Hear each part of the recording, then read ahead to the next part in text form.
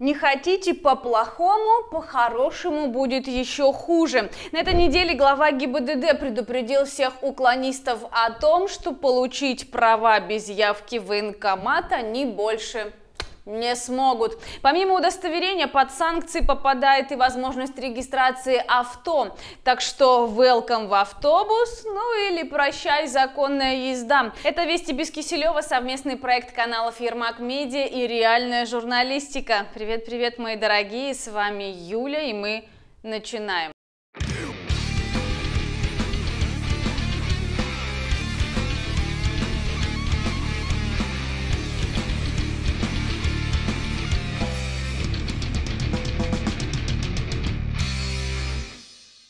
Итак, 11 июля в силу вступит приказ МВД об ограничении прав на управление автомобилем за неявку в военкомат.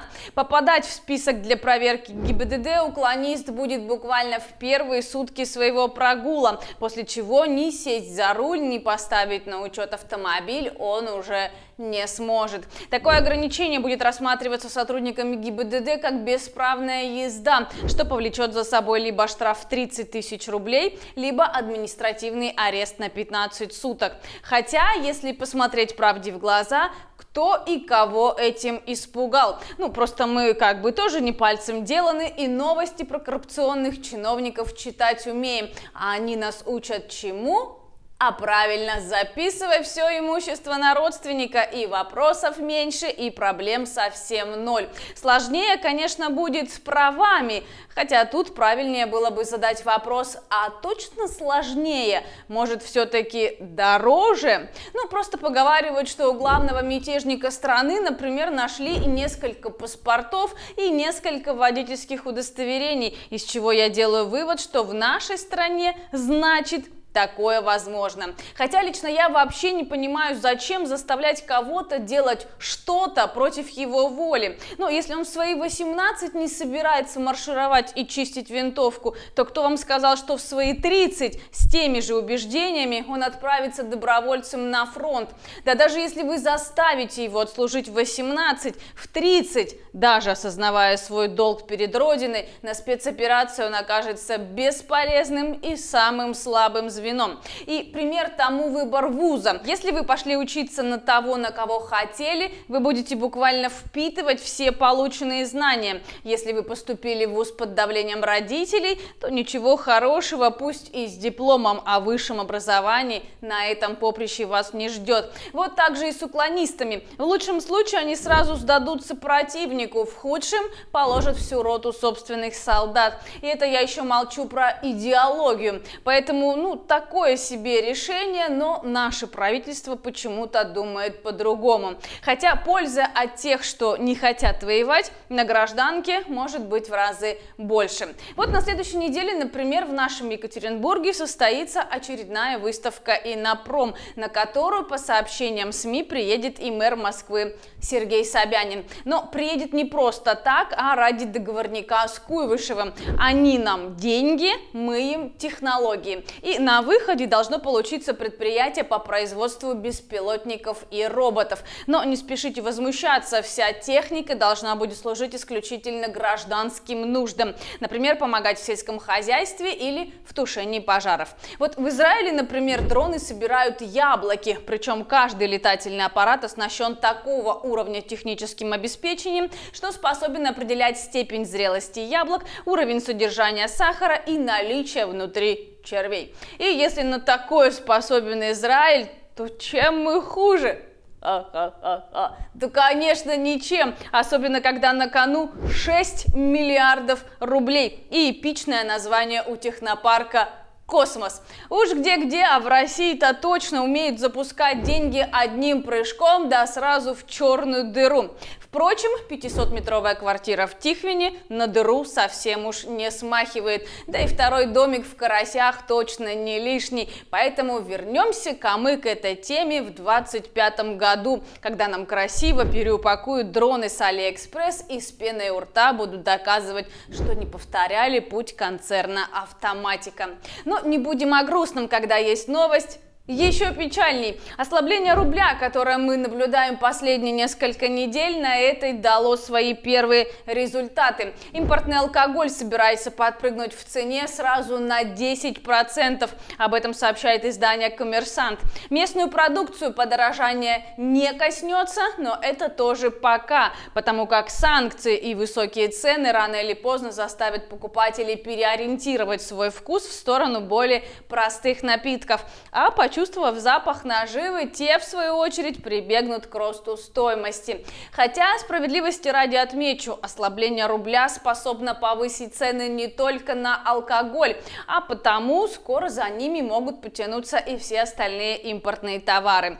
Итак, импортозамещение – ваш выход. Покажите-ка нам, как может расти экономика и сохраняться устойчивая позиция на рынке. А мы постараемся искренне порадоваться. Если этот нервный паралич лица можно будет назвать улыбкой. Впрочем, порадоваться действительно есть чему. На этой неделе Ленинский районный суд Воронежа прекратил преследование Дмитрия Щербатюка, который ранее вышел на одиночный пикет с антивоенным плакатом. Полицейские посчитали такой поступок мужчины незаконным и решили упаковать активиста за дискредитацию вооруженных сил Российской Федерации. Но на суде что-то пошло не так, и судья Мария Кази Дьякова с доводами стражи порядка не согласилась, убедив присутствующих, что если в России нет войны, то нет и ее дискредитации. В итоге полицейские в шоке, Щербатюк на свободе. Но вот останется ли в своем кресле судья, это еще большой вопрос,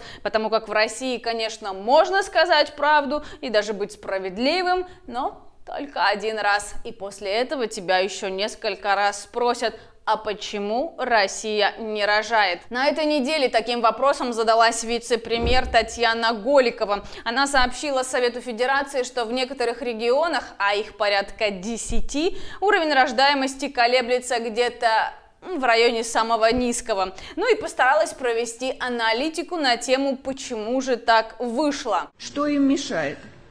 Для молодых женщин до 24 лет это отсутствие семьи, жилья и постоянного дохода.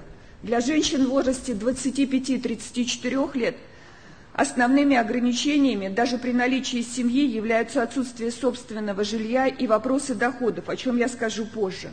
Также женщины, начиная с 30-летнего возраста, не принимают решения о рождении ребенка, так как боятся ухудшения своего здоровья. Да-да-да-да, тетя Таня, а еще нестабильное положение в стране и отсутствие мужиков, восполнять убыль которых нам придется еще не одно десятилетие. Но кого это волнует, когда стабильный провал у нас, в общем-то, везде. И в политике, и в экономике, а теперь еще и в демографии. А если прибавить к этому раскол в обществе на тех, кто за и тех, кто против, то смело можно говорить о распаде страны вообще.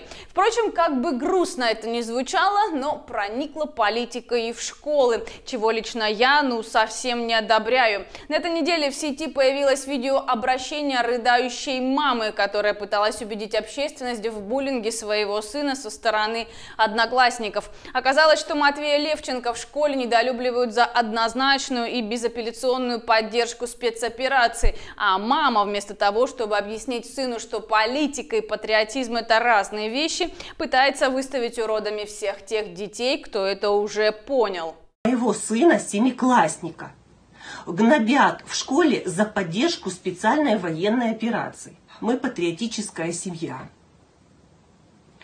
где любовь к родине вообще стоит в начале всех начал для нас.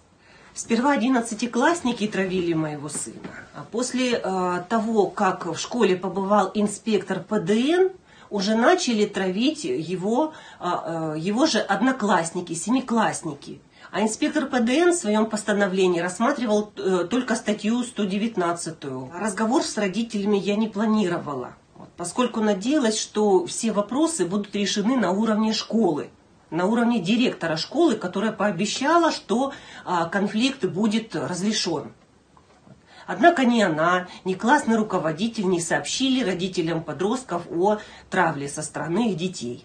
Все, чего я хочу добиться в своем обращении в данный момент, это то, чтобы все те должностные лица, к кому мы уже обращались, и которые не предприняли вообще никаких решений для полного урегулирования ситуации, понесли наказание. Ну да, ну да, конечно, все они, безусловно, понесут наказание, вы только скажите, куда вынести. Но если серьезно, то в этой ситуации мне больше всего жаль ребенка. В свои годы он еще многого не понимает и живет головой родителей, которые, к сожалению, не объяснили мальчику, что любить родину и поддерживать спецоперацию – это не одно и то же. Причем, взяв в расчет и тот факт, что дело происходит в городе Керчь, я могу допустить, что пропаганда оболванила и ту, и другую сторону одновременно. И вот эта грызня детей за политические игры взрослых – это то, что никогда не приведет обе страны к созиданию. Это то, что выращивает злобу и ненависть, и то, что в конечном итоге скажется на будущем и тех,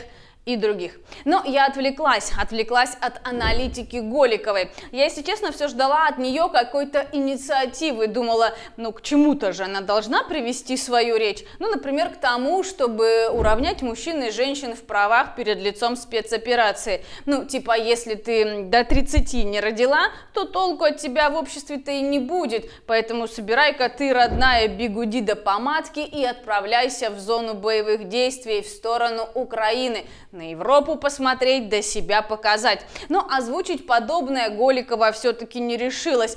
Да, собственно, и зачем, когда в городах России уже начали появляться билборды и листовки с призывом женщин встать в один строй с мужчинами. Нечто подобное горожане заметили в Омске, а там Министерство обороны готово рассматривать всех желающих до 50 лет пройти отбор на контрактную службу.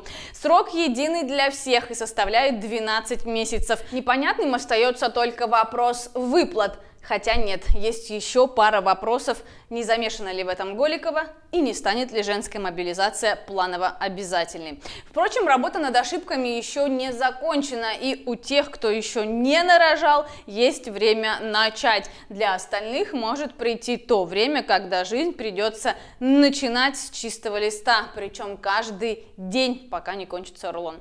Вот как-то так, друзья. А у меня на этом все. Я напоминаю, что в субботу на нашем канале Ермак Медиа вышел еще один итоговый выпуск новостей. Если еще не посмотрели, поторопитесь. А мы увидимся ровно через неделю на этом же месте и в тот же час. Всех люблю. Пока-пока.